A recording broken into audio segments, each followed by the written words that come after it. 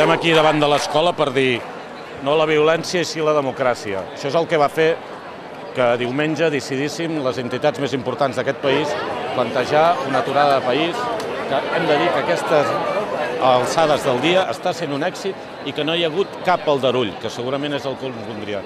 De manera pacífica i democràtica, les empreses i els treballadors estan aturant. Eh, estem, si veieu les carreteres d'aquest país, no és un dia normal de cada dia.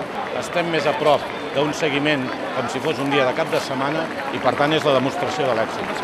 Continuem així tot el dia, es anirà sumant més gent, si aneu pels carrers i ciutats dels pobles, les botigues estan tancades posant cartells que aturen i aquest és el gran èxit. Una mostra més de que el que aquest país necessita és democràcia, diàleg, convivència i tot de manera pacífica i democràtica.